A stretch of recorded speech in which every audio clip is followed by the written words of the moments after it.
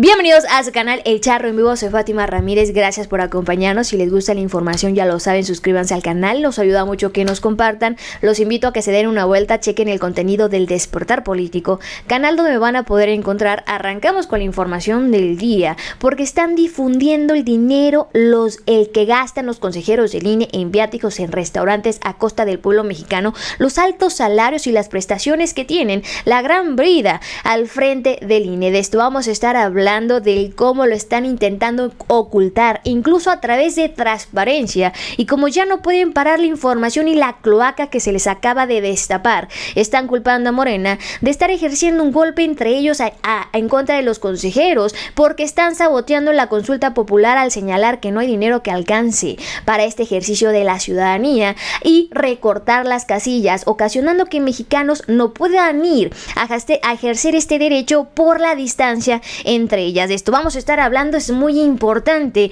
Lorenzo Córdoba y Ciro Morayama ya no saben en dónde esconderse. Arrancamos con esta información. Incluso están desacatando la corte porque les dieron palo con el tema del dinero en su momento, intentaron tumbar todo el proceso de la consulta señalando que Hacienda no les quería dar más recurso y lo declararon infundada. El INE había impugnado ambos decretos debido a que no incluyeron ninguna previsión presupuestal que les otorgara los recursos necesarios para llevar a cabo la consulta. Por lo tanto, no pueden estar recortando casillas por el tema de que no hay dinero. Es un pleno sabotaje, sabemos. El cómo piensa Lorenzo Córdoba y Ciro Murayama y ellos son los que lo están tomando político en cada oportunidad que tiene culpan incluso a todo al poder judicial porque no les cumplió el capricho al poder ejecutivo y al poder legislativo que están apoyando la consulta en su mayoría. Y luego nos damos cuenta que Lorenzo Córdoba, Ciro Murayama incluso en transparencia están ocultando lo que en realidad gastan porque hay dos consejeros del INE que se bajaron el sueldo por el tema de la austeridad republicana que el INE a pesar de que es una norma no lo está está cumpliendo y ahí debe de haber, ¿no? Sanciones a los que están al frente. Hernán Gómez señala no todos los consejeros del INE ganan igual. Dos se redujeron el sueldo, que es Roberto Saldaña y Martín Fazmora. Sin embargo, en pedidos de transparencia, la institución ha mentido deliberadamente al decir que todos ganan igual para no avergonzar a la mayoría corrupta, que a sabiendas que el pueblo mexicano está por y que ellos están siendo ricos, al frente del INE no se bajan el presupuesto. Esos son los gastos que hicieron los consejeros del INE solo en comidas durante un solo año 2019, según un pedido de transparencia. Lorenzo Córdoba despachó 114 mil pesos, solamente superado por Ciro Murayama y Benito Nasif. Vean lo que gastan en comida, en qué restaurantes van y qué vidas están dando. Lorenzo Córdoba, 114 mil pesos. Zabala Pérez, 32 mil pesos. Nasif Fernández, 143 mil pesos. Y los demás, Ciro Murayama, 143 mil pesos. Y señalan que no hay dinero para la consulta popular. ¿Por qué no aplican la austeridad republicana? republicana. Incluso les destapan una fotografía a Lorenzo Córdoba en un restaurante con diputadas de las diferentes bancadas, esta del PAN, esta de Morena, esta de Movimiento Ciudadano y ella del PRD en un restaurante. Lorenzo Córdoba no puede estarse reuniendo con los diputados de las bancadas, deben de hacerlo en sus oficinas. No pueden hacerlo, ¿no? Aquí lo tenemos, esa comida se pagó con nuestros impuestos como los demás de Lorenzo Córdoba y los otros.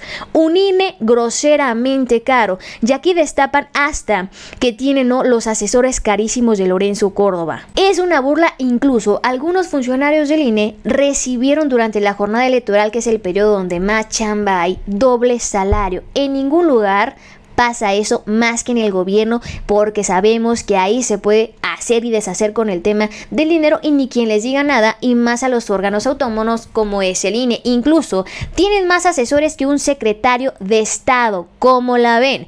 Hacienda se negó a darle 1.500 millones adicionales al INE y se optó finalmente por colocar 34% de casillas que se usaron en las elecciones intermedias. Ni el 50% de las casillas de la jornada ¿Qué va a pasar cuando a mí me toque una casilla que está lejísimo si no tengo dinero ni para el camión ni para el transporte? No voy a poder ejercer mi derecho y eso es lo que quieren. Están saboteando la consulta porque claro que hay dinero. Cada uno de los 11 consejeros además recibe una bolsa mensual de 722 mil pesos casi un millón de pesos por asesores, mientras que un secretario de Estado apenas se le permite tener unos cuantos. Tan solo Lorenzo cuenta con 11 asesores jurídicos, cinco de los cuales ganan más que el presidente Andrés Manuel. Además, en dos ocasiones, abril y junio, se le dio a todo el personal, salvo a consejeros, dos bonos que duplicaron sus sueldos para compensar la carga adicional de trabajo en el momento en que, paradójicamente, deben cumplir sus principales razones, ¿no? Si les dieron doble sueldo porque había funcionarios del INE señalando que no les habían pagado el dinero, que incluso les estaban quitando recursos porque no había dinero para la jornada pasada. Es una burla y ni hay auditoría, ni, ni el órgano del control de INE señala nada. Y luego, cuando Santiago Nieto empieza a señalar que hay irregularidades en las cuentas bancarias porque hay funcionarios del INE que tienen 80 millones de pesos gastados en tarjetas de crédito, sale Ciro Murayama a decir que los están persiguiendo. Hay otros gastos más como proyectos millonarios que no necesariamente son urgentes. Recientemente Santiago Nieto señala que tan solo el presupuesto anual destinado, ojo, a recursos materiales, hojas, ¿no? Papel de baño, no sé, lo que ocupen para trabajar, para mejorar el edificio central del INE equivaldría a todo el presupuesto de la FEPADE en 2018. La FEPADE, dinero, desde luego que hay dinero y de. Hagan bien las cuentas. Como la ven, Morena les dijo sus verdades ahí en plena sesión del instituto. El diputado de Morena, Sergio Gutiérrez Morena, no confía en el INE para organizar la consulta popular porque la están, ¿no? Es evidente que no la quieren. El presupuesto, el representante fustigo a los consejeros por aprobar solo 57 mil mesas receptoras, por descartar la presencia de representantes de los partidos políticos en las mesas, porque no habla observaciones de los partidos políticos. Aquí lo tenemos. Ayer le dije a Lorenzo Córdoba que el INE está boicoteando la consulta popular. Solo quieren instalar 57 mil casillas en la elección federal. Se instalaron 156 mil. Se quejan de que no tienen dinero, pero tienen prestaciones de opulencia. Se lo digo directo, presidente, y claro. Observamos un intento de boicot. Es muy claro que no hay la convicción, no hay el deseo de que este ejercicio democrático sea un éxito. ¿Qué vemos nosotros? Vemos su intención de instalar 57 mil casillas, cuando en la elección federal se instalaron 156 mil casillas. ¿Están ustedes en la idea de que un tercio de esas casillas sean las que funcionen para la consulta popular? Es evidente que eso va a mermar la participación, es evidente que va a ser difícil el acceso de los ciudadanos para votar en esas casillas. ¿Están planeando ustedes dedicarles 17 días de difusión a la consulta popular? ¿En 17 días creen que va a ir a votar a la gente y que va a haber suficiente información para que sea un éxito este ejercicio? Es claro que no. No le tengan miedo a este ejercicio democrático. Yo sé que para usted su prioridad, para usted su prioridad, el tema es tener sueldos de opulencia.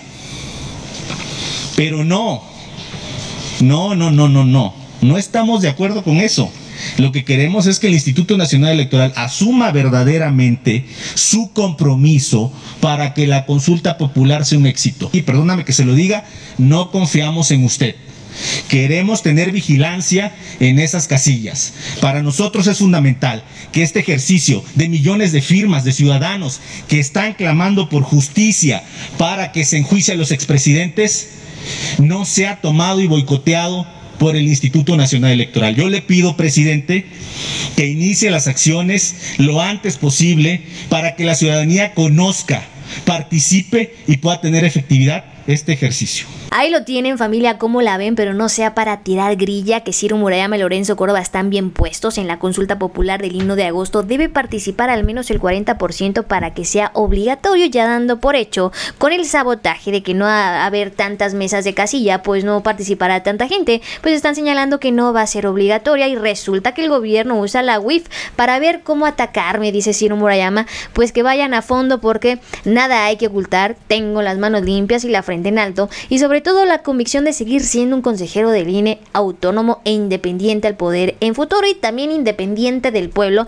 Por eso están con esos salarios tan grandes y ya salen a llorar, ¿verdad? Piden al INE, piden en INE no polarizar consulta popular los consejeros electorales después de estos grandes salarios que incluso que no están transparentando bien las prestaciones y las ganancias, los salarios en transparencia. ¿Qué podemos decir el pueblo mexicano si se dicen ser, ¿no? responder al pueblo y estar ocultando la información en transparencia. Si les gustó la información, ya lo saben, familia, suscríbanse al canal. Soy Fátima Ramírez y nos vemos hasta la próxima.